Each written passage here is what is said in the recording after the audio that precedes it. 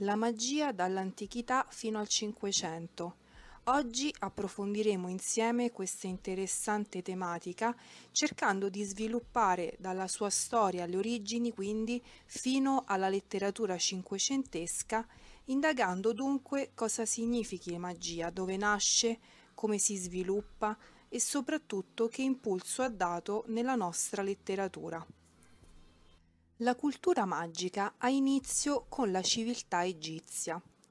Infatti la loro arte sacra, chiamata Hike, ossia la capacità di assoggettare le forze e i fenomeni naturali, danno il via proprio allo sviluppo della magia, in senso spirituale, divinatorio, ma soprattutto nel sapere evocare i morti, così come accadeva anche per le popolazioni ebree, babilonesi ed assire. Con le popolazioni del vicino Oriente nasce anche l'astrologia, legato al concetto di predizione, destino e fato delle persone, legate soprattutto alle proprie costellazioni cardine di nascita. Il mondo greco acquisisce gran parte della sua conoscenza magica dall'antica Persia. Troviamo molto dominante il fato come potenza naturale incombente sugli uomini e queste interpretazioni di tali pratiche vengono ottenute attraverso gli interventi di indovine o sacerdotesse chiamate pizie la magia dei misteri con la scuola pitagorica. È considerato il più importante centro di pratiche magiche nel mondo greco, dove si svolgevano rituali e cerimonie segrete. Il loro simbolo cardine era il tetrachitis o tetrattide e la raffigurazione completa di questo triangolo rappresenta la sintesi del tutto, l'unità, la molteplicità, la materia che si differenzia. Infatti per i pitagorici il 10 simboleggiava l'universo e questo simbolo lo ritroveremo successivamente in tutte le pratiche esoteriche e, di, e massoniche e filosofiche che in qualche modo svilupperanno ancora di più queste tematiche. La cultura magica romana non è altro che la fusione con altre culture soprattutto etrusca, greca e medio orientale.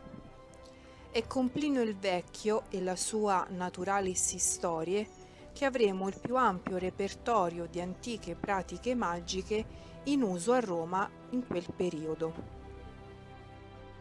Tuttavia il più importante documento legislativo romano che attesta delle pene gravi per chi compiva rituali e pratiche magiche di ogni tipo è da rintracciarsi nelle cosiddette leggi delle dodici tavole, redatte tra il 441 e il 440 a.C. Non abbiamo i testi completi giunti sino a noi, solo dei brevi estratti che sono stati tramandati e redatti scritturalmente, per cui come potete vedere nella slide abbiamo sì riferimento di leggi che vietano il maleficio ma non sappiamo effettivamente il tipo di pene che venivano inflitte per queste pratiche magiche. Un testo che di sicuro racchiude in sé tutte le tematiche magiche dell'epoca è sicuramente la Metamorfosi o l'Asino d'Oro scritto da Apuleio. Composto in epoca imperiale, narra le vicende del giovane Lucio, il quale, bramoso di scoprire l'arte della magia, raggiunge la Tessaglia, all'epoca considerata terra di streghe e di incantesimi, per poter diventare anche lui un mago famoso. A un certo punto Lucio si trasforma in asino, dopo essersi spalmato uno strano unguento sul corpo, e compirà un lungo viaggio per ritornare se stesso, per tornare alla sua forma originale, aiutato anche dalla dea Iside. Le tematiche che ritroviamo nella metamorfosi apuleiana sono soprattutto tematiche occultistiche del Medio Oriente, soprattutto egizie e siriane. Nel testo sono elencate anche moltissime operazioni di stregoneria, magia talismanica, evocazione dei defunti e di prassi divinatorie in uso presso i romani in quel periodo.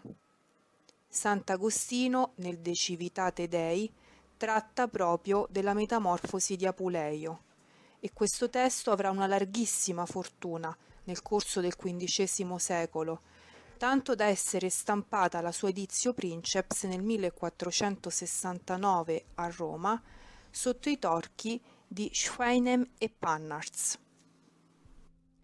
In seguito all'avvento e alla predicazione del cristianesimo, la magia romana subì dettami antimagici dei cosiddetti padri della Chiesa.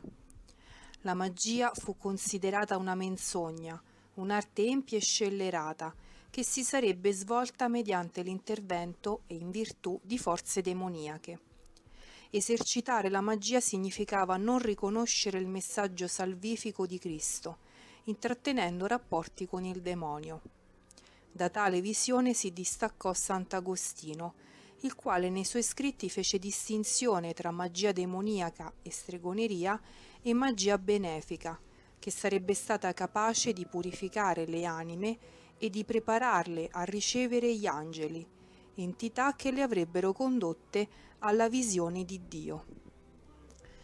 Nel Medioevo la magia era soprattutto arte della trasformazione, comunemente detta alchimia gli alchimisti erano in grado di creare sostanze e pietre particolari, come la pietra filosofale, la quintessenza, l'elisir di lunga vita, con l'obiettivo di conoscere tutti i campi del sapere ed essere un tutt'uno con l'universo. Infatti, per loro, non vi è una distinzione fra il mondo dei minerali e il mondo degli uomini. Come potete vedere nella foto in basso a destra, il simbolo precursore degli alchimisti è il triangolo, il tetrachitis che avevamo incontrato anche nella scuola pitagorica. Nel 1263 Tommaso d'Aquino redasse la sua Summa Teologica, testo che costituì il compendio del pensiero cristiano in merito alla magia e alla stregoneria. L'opera restò un esempio della teologia antimagica per lunghissimo tempo. Per Tommaso il potere derivante dalle arti magiche sarebbe peculiare del demonio e contrasterebbe il messaggio di Cristo. Questa posizione ideologica permeò tutto il periodo del Medioevo.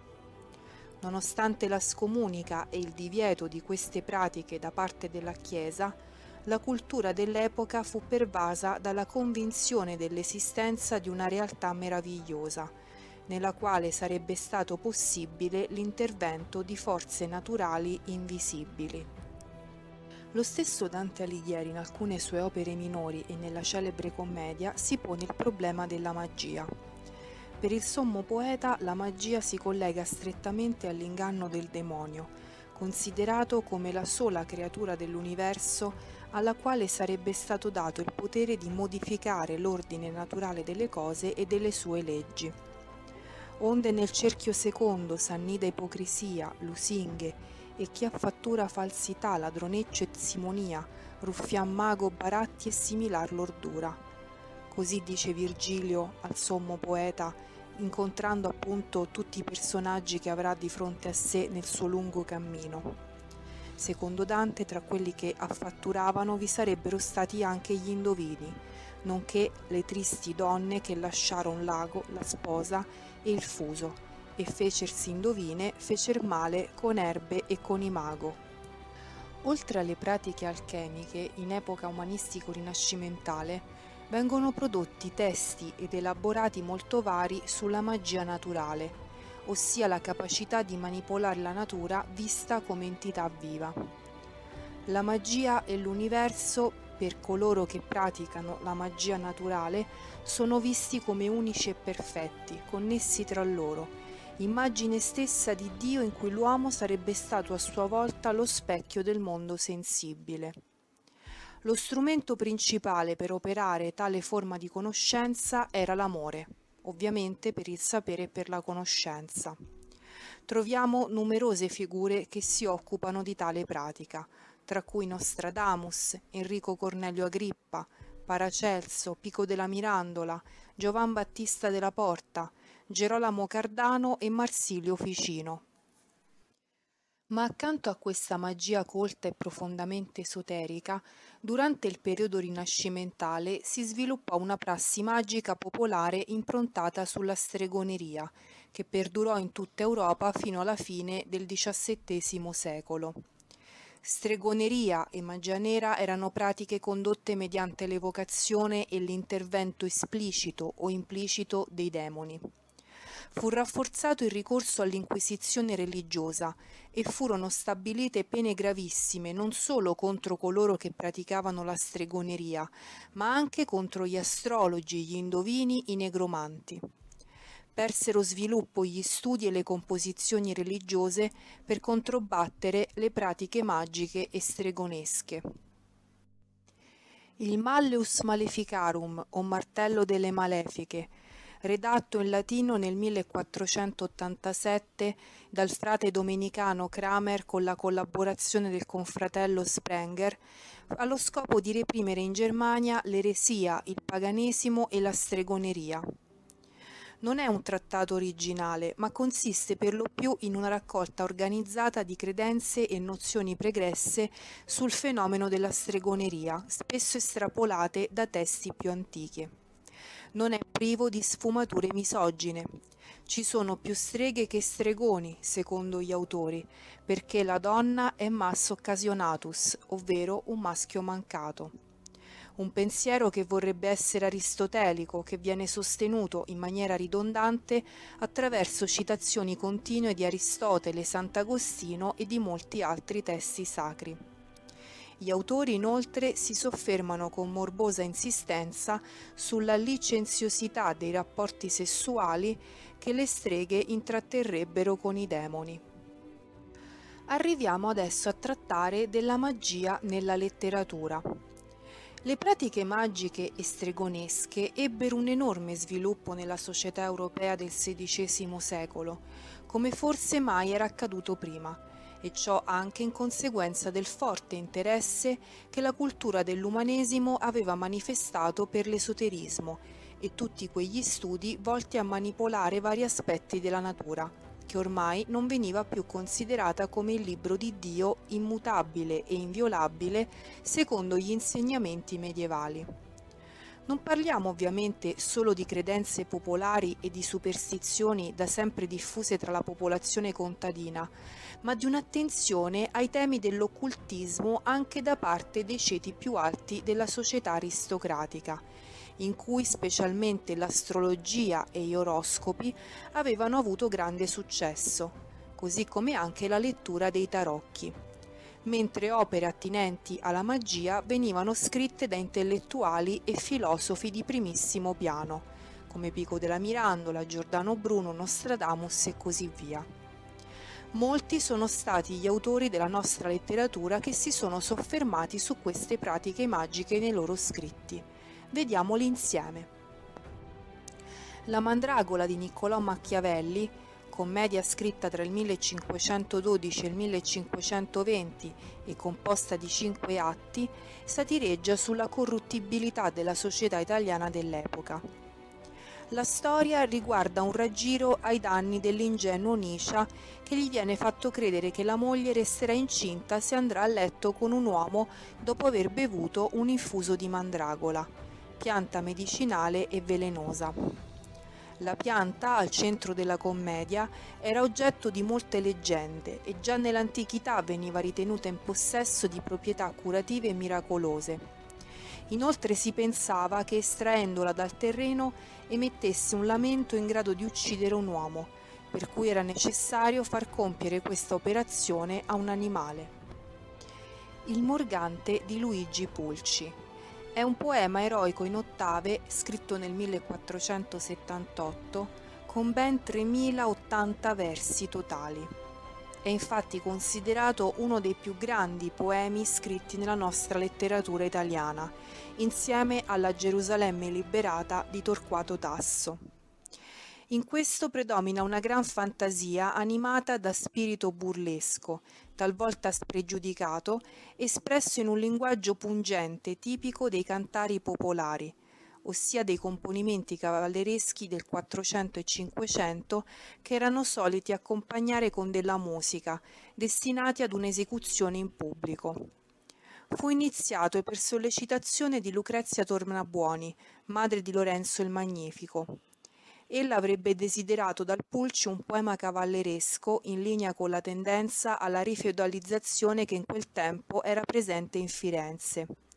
Il poeta invece dimentica ben presto l'impegno epico e scrive una parodia del poema cavalleresco, dove per l'appunto Morgante è un gigante convertitosi al cristianesimo. L'Orlando Furioso di Ludovico Ariosto, compilato nel 1516, poema cavalleresco in ottave, che riprende l'Orlando innamorato composto da Boiardo, è considerato la summa della magia fantastica per eccellenza nella nostra letteratura italiana. È dedicato a Ippolito d'Este e presenta un complesso ciclo arcuriano e ciclo bretone insieme a una serie di riflessioni morali e filosofici con annessi elementi della magia, attinti soprattutto dal Morgante di Polci. Troviamo un binomio molto forte fra natura e magia, come emerge nel canto sesto, ottave 60-61, e nel complesso possiamo dire che nei confronti del tema Ariosto è di forte scetticismo e ironizza contro coloro che perdono il senno dietro a quelle magiche sciocchezze.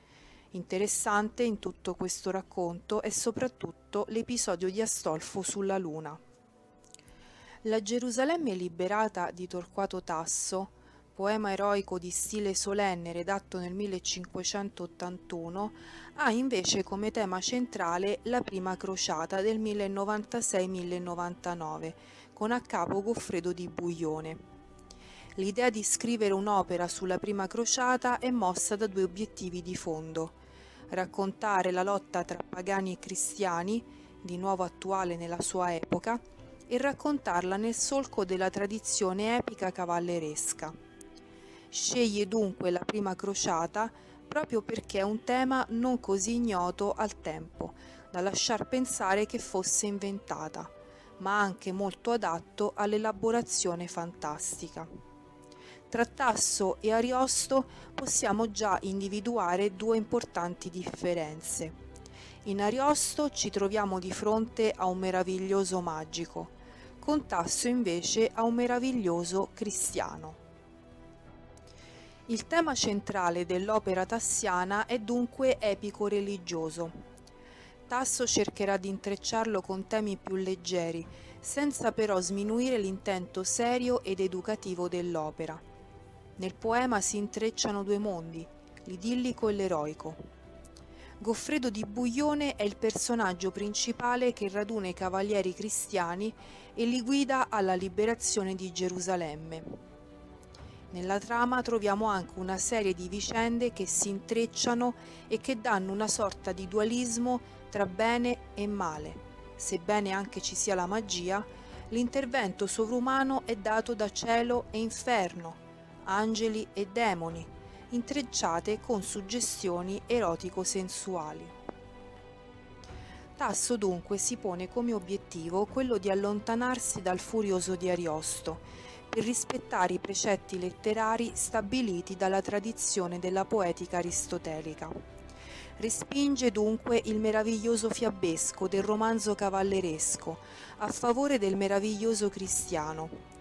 Gli interventi soprannaturali di Dio, degli angeli e anche delle creature infernali che appaiono verosimili al lettore fanno parte delle verità di fede. Tasso afferma che la poesia può unire al vero il verosimile, a condizione di mantenere una coerenza storica nello sviluppo complessivo della, della vicenda. L'esigenza del richiamo ai valori religiosi è insita nel fine pedagogico della sua Gerusalemme liberata. Il poema è teso non solo al delectare, ma anche al docere. I cristiani allora dovevano riscoprire la propria compattezza, combattendo per difendere la propria fede dalle minacce esterne, ovvero i turchi, ed interne, ovvero le spinte disgregatrici figlie della riforma luterana, e insieme ad esse dunque anche la Controriforma, il rinnovamento del Tribunale dell'Inquisizione e l'istituzione dell'indice dei libri proibiti. Possiamo dunque concludere che la magia di Ariosto è più rivolta al fiabesco, mentre quella di Tasso ha un unico fine, quello di ricondurre il contrasto tra bene e male. Siamo giunti alla conclusione del nostro breve approfondimento sulla storia della magia dall'antichità fino alla letteratura cinquecentesca. Troverete sul canale YouTube della pagina Artelet Filoarcheo altri video di riferimento a queste tematiche che troverete sotto al video, compresa anche una piccola bibliografia di riferimento come sempre per approfondire di più queste tematiche. In particolare vi suggerisco la lettura del volume Magia bianca, magia nera nel Rinascimento a cura di Zambelli, Longo Editore 2004. E io come sempre vi ringrazio e ci vediamo presto con altri video approfondimenti targati sempre Artelet Filoarcheo.